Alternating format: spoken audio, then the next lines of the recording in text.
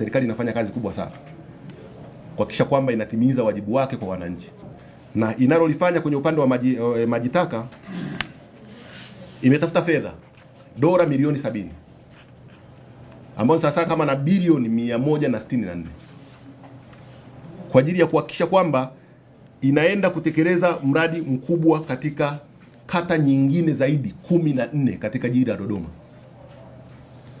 au zaidi kadri itakavyowezekana. Kwa hiyo tunavyozungumza sasa hivi tunavyozungumza sasa hivi tumesha saini mkataba na consultant ambaye anaitwa Doa. Tarehe tisa mwezi wa tano mwaka huu tumesaini mkataba.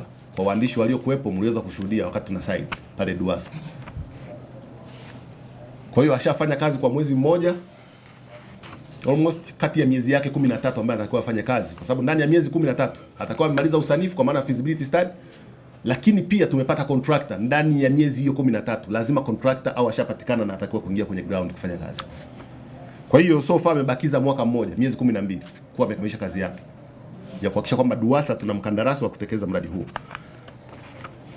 Kwa consultant mradi wake huu anaofanya wa, kuandaa hiyo feasibility study una thamani kama bilioni 12 bilioni 12 peke yake.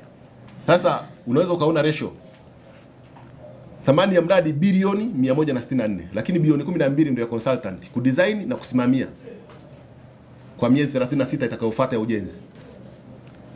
Iliyobakia yote inaenda kwenye kazi. Sasa hiyo iliyobakia inaenda kufanya kazi gani?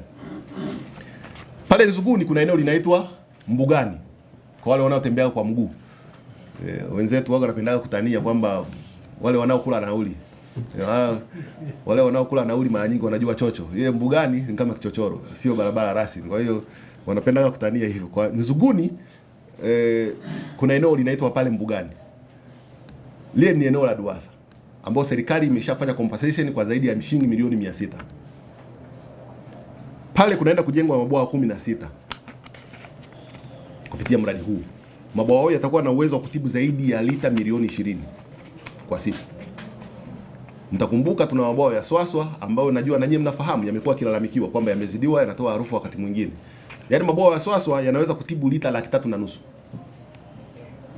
Yanaenda kujengwa mabwawa ya kutibu lita milioni 20 na zaidi kwa siku. Na yale mabwawa yana nafasi ya kutosha, yatakuwa user friendly, hayatakuwa na disturbance kwa wananchi. Kwa hiyo ni mradi ambao unaenda kusaidia, lakini kupitia mradi huo nimezungumza kwamba sasa hivi Dodoma tuna kilomita 118.6 za mtandao wa maji taka. Kupitia fedha hizi ambazo Mheshimiwa Rais ametusaidia kupatikana, tunaenda kulaza kilomita nyingine zisizopungua 250.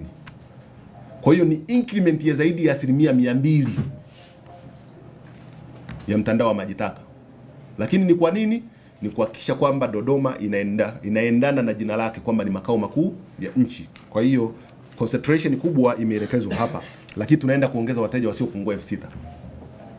Sasa hivi tuna wateja elfu sita mia mbili na kama 32 kwenye database yetu, lakini tunaenda kuongeza wateja wasiopungua elfu sita tena wengine.